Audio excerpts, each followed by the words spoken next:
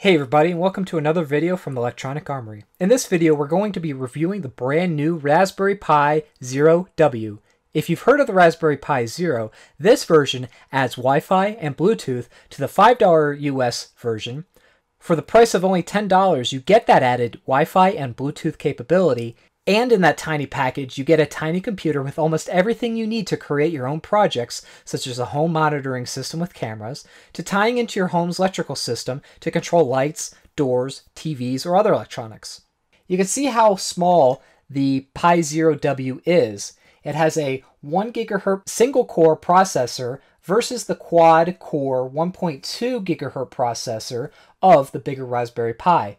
It has only 512 megabytes of RAM, whereas the bigger guy has a gigabyte. However, the 512 megabytes of RAM should be more than what you need for a single function purpose, such as connecting to a breakout board or connecting to something that you need for basic image processing or numbers crunching. If you need something better and bigger than that, I do recommend the big brother, the Raspberry Pi 3. You can see it has a lot more connectivity and is going to be a lot more powerful. So the Pi Zero W has a micro SD slot that you can put a micro SD card in, as well as a micro HDMI port. And you can hook this up to any monitor using an adapter, such as this mini HDMI port to regular HDMI port. The next thing we have here is these two USB slots. And the USB slots are going to be, one is going to be for power and peripherals, and so you might want to plug in a keyboard or a mouse or even plug into a USB hub that is powered so that you can have a little bit more um, different peripherals on this. The next thing it has is the usual 40 pin header, so you can connect it to various things such as a, a breakout board or a breadboard or some other type of electronics. And so this guy is only $10. If you just want to pay $10, this is what you get right out of the box. It's pretty simple. Just connect a USB, uh, micro USB power, such as this one, right up to the power cable and into either a computer to drive a 1 amp power or plug it into a wall adapter that has USB, of course. But what I recommend is getting a case. This is the official Raspberry Pi case. And so as you can see, it has a slot for the input output pins that allows us to have access to that from the bottom, and as well as the access to the different ports. So we have power here, the peripherals, and the mini HDMI. We also have on the other side a slot for the camera connector for the ribbon if you wanted to run a camera on the outside. We'll talk about that again in a second.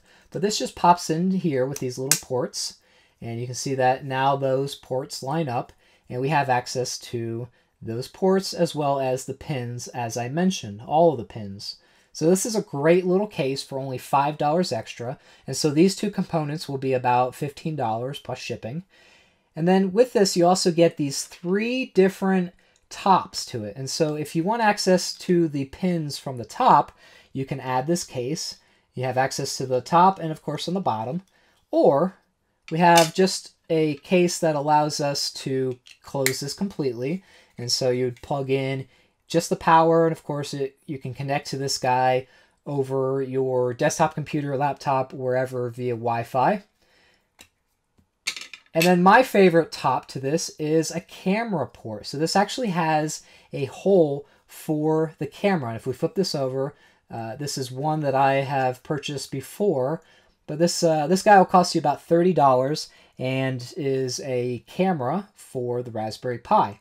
And again, we have a case that is compatible with this that we can simply just plug into this. So we plug it in here, just snap in, and you can see that it shows up on the other side.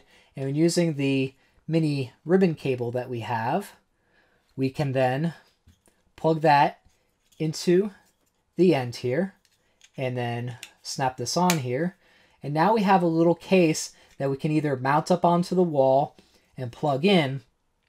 And now we have a home monitoring system or any kind of camera that you can set up either on its end or again, hang it up on a wall. All right, so the power consumption for these are also really, really low.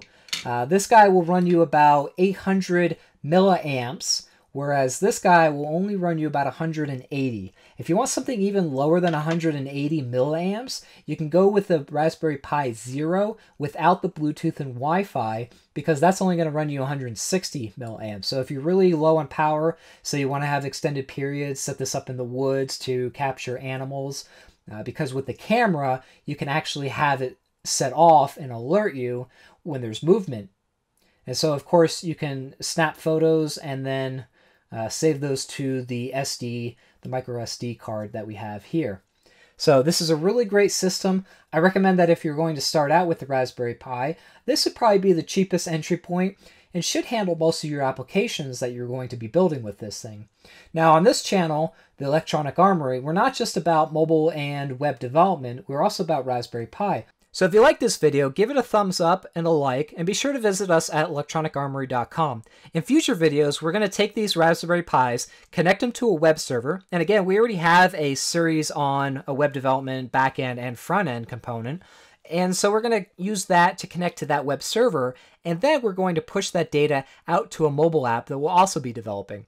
So if you want to see that, leave a comment down below, give this video a thumbs up, Make sure you subscribe, and we'll see you in future videos. Thanks, and we'll see you next time.